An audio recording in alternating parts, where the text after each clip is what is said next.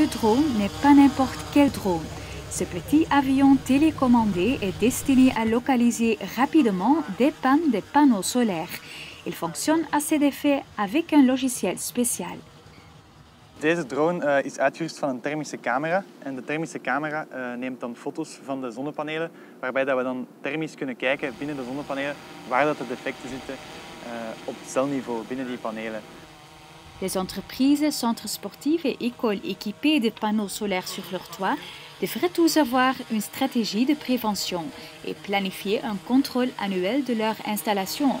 Mais la procédure actuelle dure plus longtemps car elle est effectuée manuellement. Désormais, ce drone rendra les contrôles plus efficaces. Een van de grote voordelen is dat het veel sneller gaat. We kunnen op ongeveer een uurtje de volledige site in kaart brengen. Een ander voordeel is dat de persoon die de inspectie doet niet meer op het dak moet klimmen.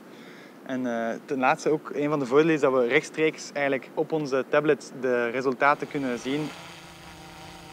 Eneco, le plus grand producteur d'énergie solaire dans notre pays, est le premier fournisseur d'énergie à déployer ses drones. Elle a installé 260 000 panneaux, soit l'équivalent de 60 terrains de football.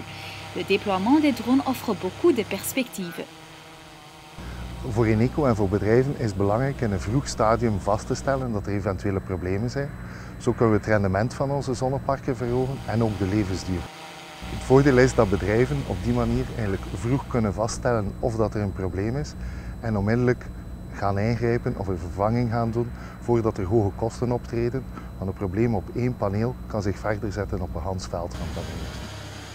Eneco va commencer à déployer des drones pour contrôler les panneaux solaires des entreprises et examine déjà la possibilité de le faire aussi pour les logements.